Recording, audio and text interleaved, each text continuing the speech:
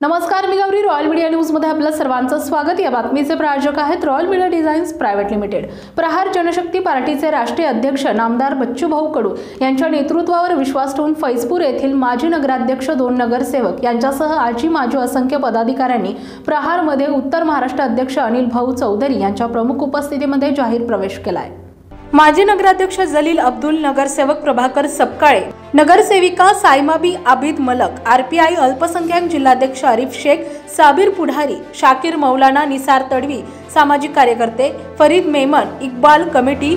सादिक हुसेन वशीम खाटिक रियाज मुल्ला सोहेल बेग Yunus Mulla Yunus Shaikh Hamid Raquel Manish Khatri Chhotu Salunke Shakir Mistry Umar जनाब अल्तामर शेख आणि असंख्य कार्यकर्ते यांनी जाहीर प्रवेश केला आहे फैजपूर येथील कार्यकर्त्यांनी प्रहार जनशक्ती पार्टीमध्ये प्रवेश घेतला असून इतर सर्व पक्षांचा अनुभव घेतला असता न्यायिक वागणूक न मिळाल्यामुळे सन्मानांचे राजकारण करण्यासाठी आपण प्रहारमध्ये प्रवेश करीत असल्याचं कार्यकर्त्यांनी सांगितले यावेळी अनिल चौधरी म्हणाले आदरणीय बच्चूभाऊ कडू यांच्या विचारांवर विश्वास ठेवून तळागाळातल्या लोकांना न्याय देण्यासाठी सर्व जाती धर्मातील लोकांना न्याय देण्यासाठी प्रहार जनशक्ती पार्टी हा एकमेव पक्ष सक्षम आहे. त्यासाठी सर्व युवक प्रहार जनशक्ती पार्टीमध्ये प्रवेश करत आहेत असे उद्गार यावेळी अनिल चौधरी यांनी काढलेत. आजच्या बैठकीमध्ये पुढे येऊ घातलेल्या निवडणुकांसंदर्भात चर्चा करून पक्षाचे ध्येय धोरण आदेश सर्वांनी मान्य करायचं असं एकमत ठराव आपण सर्वांनी करावे ही नवीन प्रमुख पदाधिकाऱ्यांना सूचना दिल्यात. रॉयल मीडिया न्यूजसाठी विशेष प्रतिनिधी ज्ञानेश्वर पारदी जळगाव.